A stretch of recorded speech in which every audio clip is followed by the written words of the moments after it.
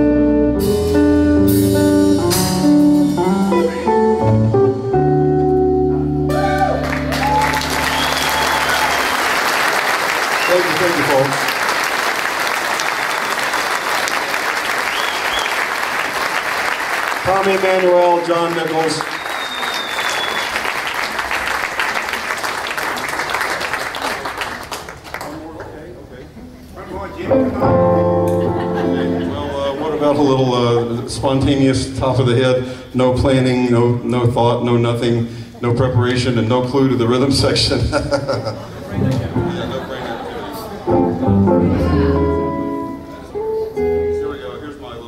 Here's my fallback thing. I love these tunes.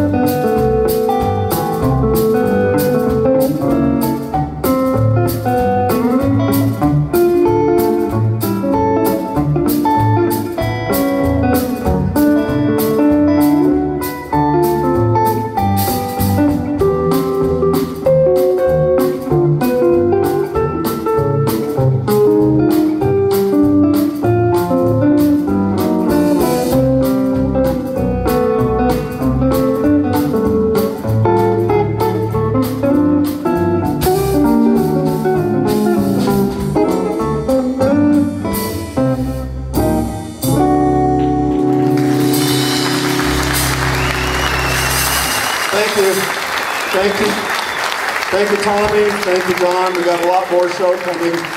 And thank you, Mark and Carol Pritchard.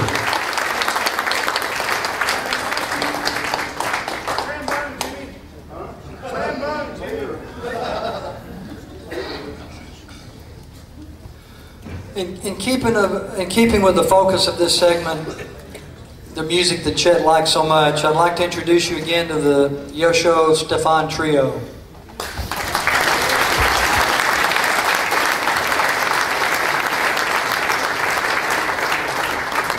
You know, for all practical purposes, Chet played in the Hot Club of Knoxville in the 1940s with Homer and Jethro. He listened to the 78s of the Hot Club of France and he emulated Django. Chet adapted Django's flashy hot licks into a pattern that could be played with thumb and fingers instead of a plectrum. His well known tunes, Main Street Breakdown and Galloping on the Guitar, were studies in Django's music. Later on, Chet got with Billy Ed Wheeler and he wrote a song about Django, and they actually overdubbed a solo on Django's tune, I'll See You in My Dreams. I was uh, fortunate enough to be able to introduce Chet to Django's son in 1995, probably. And uh, of course, Chet got Django's autograph in Chicago in 1946, and he treasured that forever. So, without further ado, Joscho Stephan, Gunther, and Mike Schaaf.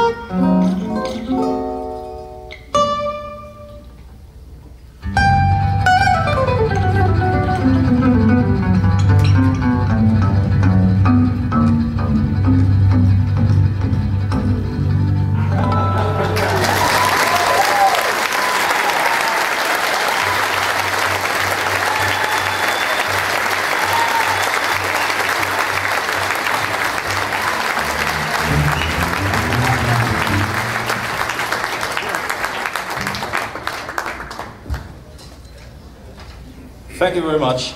Nuage from Django Reinhardt. We do one more, and we have a guest on drums, Tommy Emmanuel, for the next song, Honeysuckle Rose.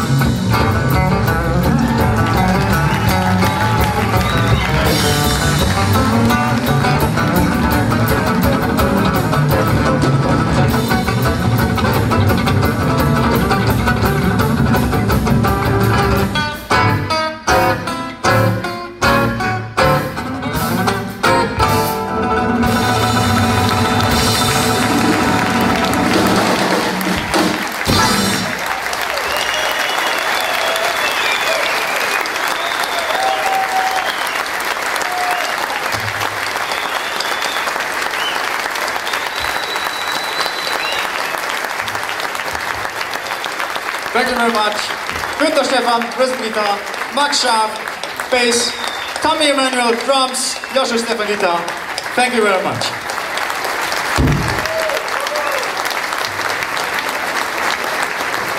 Thank you. What about that?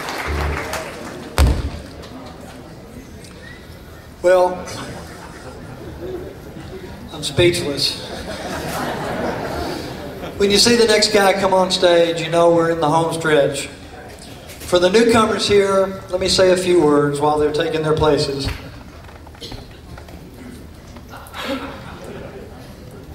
Our next performer was featured on Chet's last CD, Finger Pickers Took Over the World. He's been playing at the festival here every year since 1997. 96. 96. He's the Johnny Appleseed of fingerstyle guitar. I always know where he is in the world because I get phone calls and emails from the places where he's just been. A new member here who's, who's attended this week has played guitar for 30 years. Last year he was driving in Florida as Tommy was doing a radio spot for a concert in Orlando. When the music started, he had to pull his car off the road and get his wits about him before he could continue. he called the station, found out who was playing, bought a mate, joined the society, came here and has a new musical family, and a new respect for Chet and fingerstyle guitar. How many times have you heard stories similar to that? He's really a he's really a treasure. We're honored that he has done so much for uh, Chet's music and for uh, for guitar playing around the world. I think since January, he's checked with us from uh, Germany, Australia, Holland, England. Uh,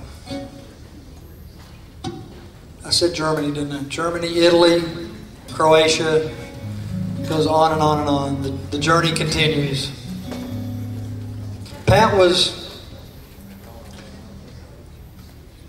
letting us know about the Endless String Quartet, string quartet from Kentucky, and it just seemed like a, a wonderful addition to bring them down. They played with him with the Lexington Symphony, and uh, I think it's really been a good addition. What do y'all think? Yeah!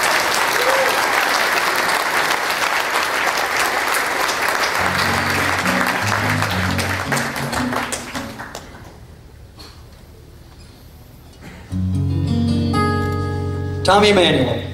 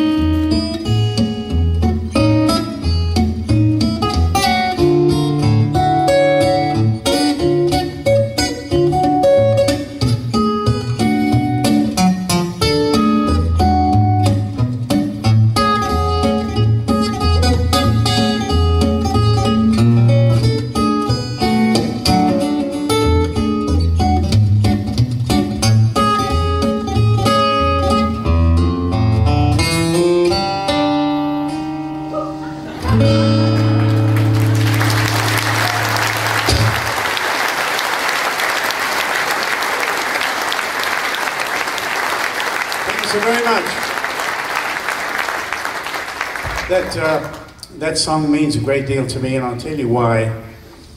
Because it was the very first time in my life that I was able to give something back to Chet. I came up with that arrangement in 1977 when I saw the movie Borsalino, and it just haunted me, this melody. And I've discovered that it just fell under the fingers, playing in A. It just fell under the fingers, so I came up with that arrangement. For the first time in my life, I got a chance to surprise Chet with something new, as he'd done to me all my life. And it was a great moment to be able to give him something back. And you know, he fell in love with that tune and he loved to play it. And it was such a thrill for me. It gave me chicken skin. Every time I, when I was staying at the house, and I'd, I'd get up early in the morning and I'd hear him playing in the kitchen, and I'd hear this. Like the rest of us, when he got a new tune, that's all he wanted to play, you know? And so that song, and I've never told anybody that, but that's, that just come to me as I was playing it now, that that was one of the reasons why we, we uh, agreed that we really wanted to do that tune. Um, and so it was a really feel that that song and Waltzing Matilda, uh, we got a chance to, uh, to play that together. It was, a, it was a beautiful day, the day that we recorded Waltzing Matilda, because it was the, it was the first time that we'd sat down with microphones and with a proper recording engineer and actually tried to record something properly together. And I remember Chet was having trouble with his nails because they were very brittle because of all the um, medication he'd been taking. So he actually got me to cut them off. And I remember I got the scissors and he's holding his hand, it was kind of trembling a little bit, and I went snip and it flew about 50 feet down the hallway. Like that. But you know, it didn't bother him at all. I just kind of did the, got the file and filed his nail back, and he just got out some steel picks, like a banjo player, and put up, picked up his uh, steel string Gibson um, SST. And that's what he, that's what he used. He just found a way of making it work, and it was fine.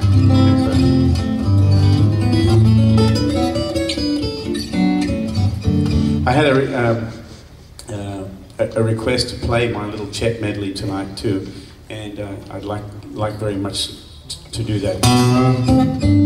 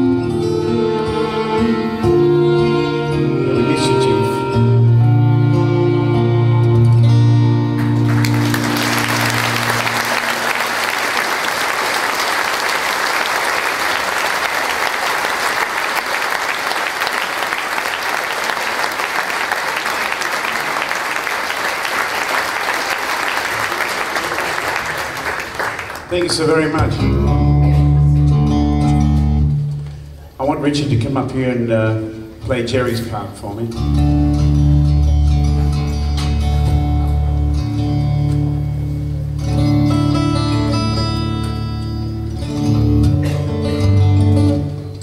We're going to do a song that we love to play very much. And this is from the second Chet and Jerry album. It's a beautiful melody, ladies and gentlemen. I'm going to try and conjure up a little bit of the Del Vecchio with my Maton here. Thank you.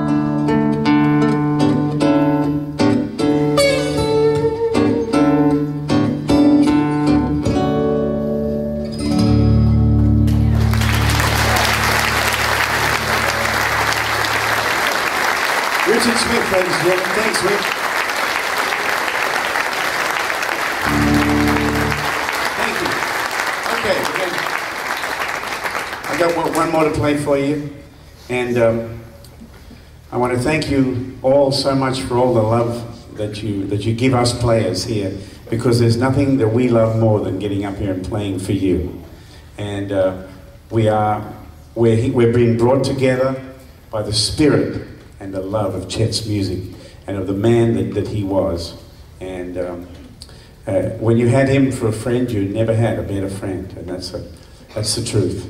And um, and I know that we'll all, all of us here who love his music and grew up listening to his music, will spend the rest of our days enjoying it and handing it on, and uh, hopefully see generation after generation um, flowering because of, of what we're trying to do here to keep this music alive.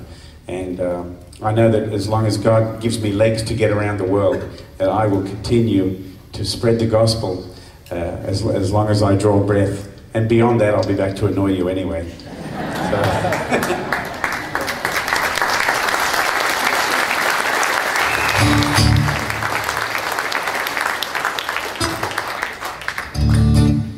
And uh, just an extra big thanks to Broadway Sound and uh, Clayton, who's done such a tireless and incredible job on the sound. Thanks, Clayton.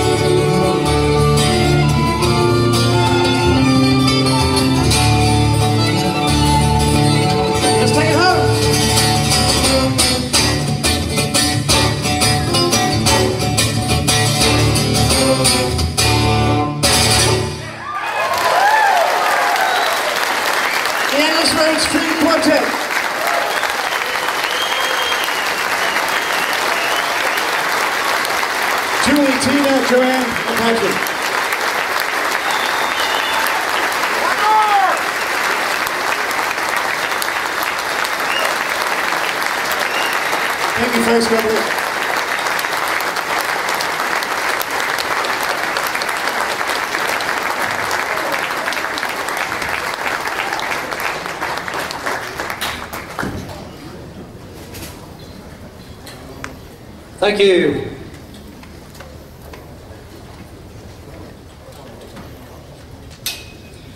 Well, I think let's let's take a trip back. Let's go back to Luttrell again and start again from the days of, uh, of Billy Rose and uh, Studio B and Chet and uh, country music and Boudleaux Bryant,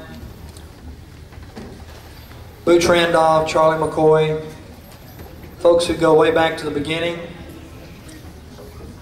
This came about from Megan listening to the DVD, A Life in Music, the story of Chet's life. And she saw an interview with George Benson, who was discussing how much fun it was to be at Chet's, listening to Floyd Cramer and jamming and uh, getting ideas for, for recording. George knew that, that Floyd was a stylist, as was Chet and George. And to recreate a bit of that sound, Robert Anderson will play a bit of Chet's part on Dream, and Jim Nichols will recreate a bit of George Benson's music. Maybe.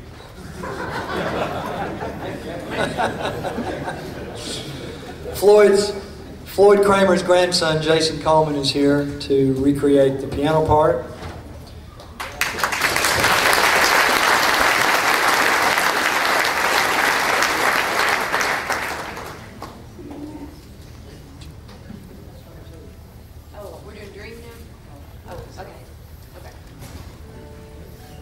The first tune, though, is uh, a standard that was written by Boudleaux Bryant and Chet. Chet wrote the music.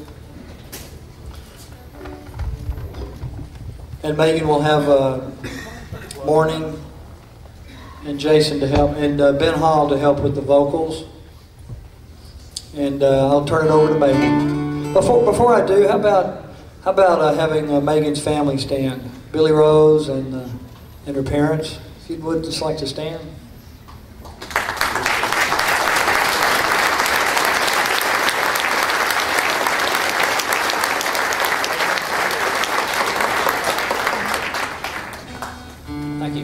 Megan.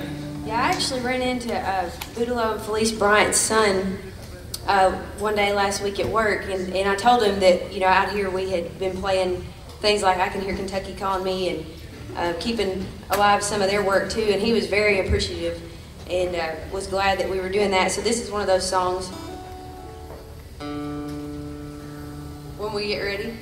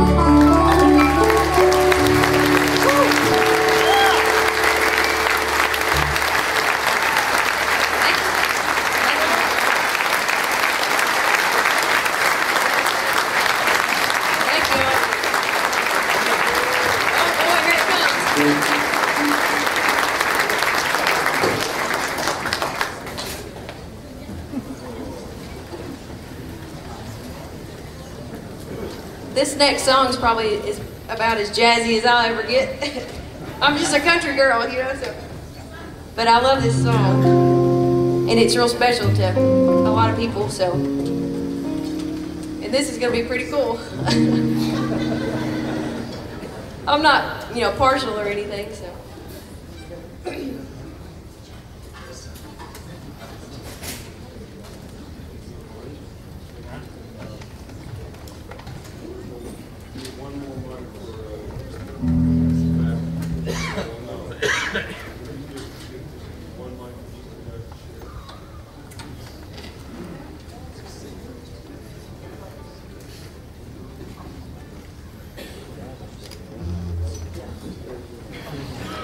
Is there anybody here who was not here for Tommy's concert Friday night?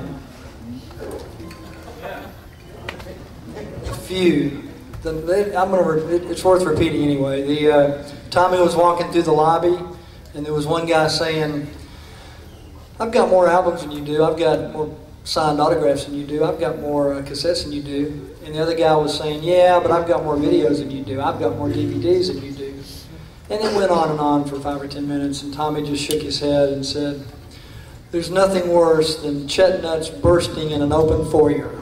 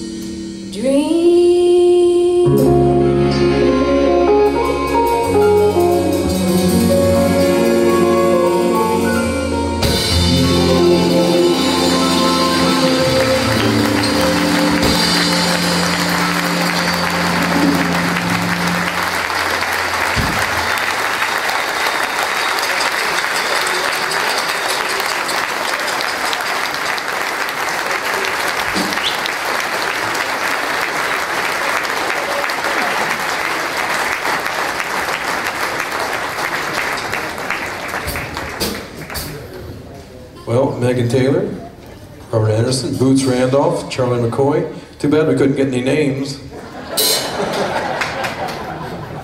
And uh, Jason what a wonderful string section. Thank you guys, thank you. Jason Coleman on piano.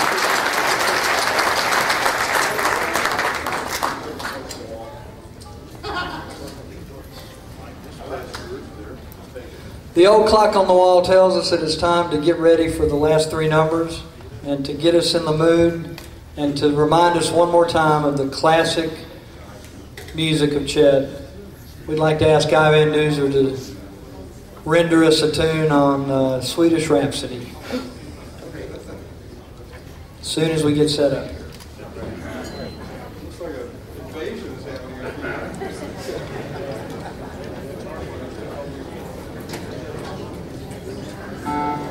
I was thinking of Guy this week on the on the on July Fourth last week. I knew that up in Boston, Guy would be playing, and you would hear the Stars and Stripes bouncing against the skyscrapers of Boston. I could I could hear him down in Knoxville. Yeah.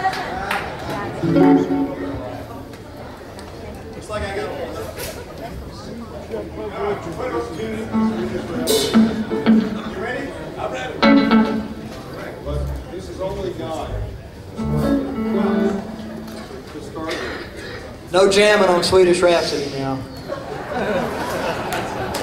No jamming. You can't jam on Swedish Rhapsody.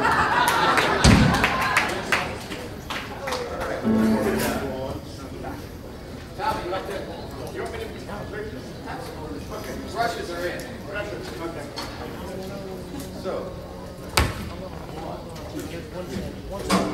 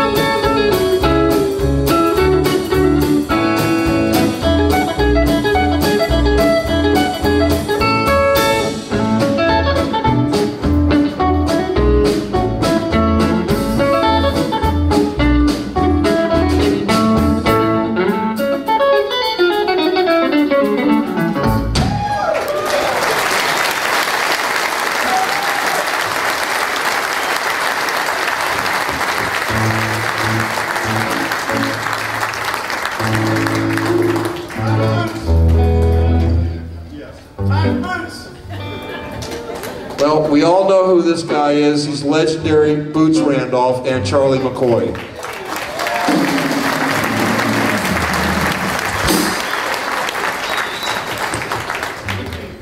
I don't know what the hell to do up here after all this stuff. Being a saxophone player in this bunch is like being a pair of brown shoes in a room full of black tuxedos. Chet Atkins was a great friend of mine, and I hope I was a good friend of his. We worked together many years. He and Floyd Cramer and I did a lot of shows out through all through the country, some worlds that we ain't even been to yet. But uh, some of our music, uh, I guess, was dated at the time, and it still is. But it's good music. A lot of these old standards. We're going to play one of the great old gospel songs called "A Closer Walk with You." Thank you.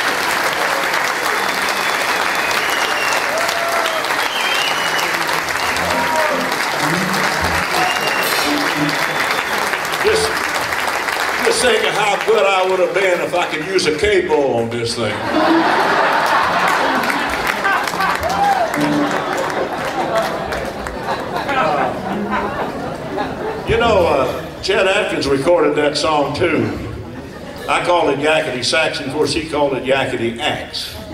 And you know something I heard? I'm not sure if it's the truth or not, but it's the biggest single that Chet ever had. Is that right? Well, that ain't saying much for me, is it?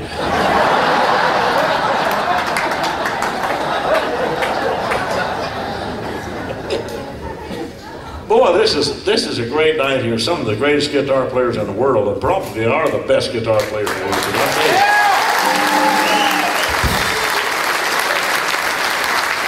The best on this stage at this time. Not true. Anywhere. Some of you guys came from another planet. This guy right there has got to be from somewhere else besides the world.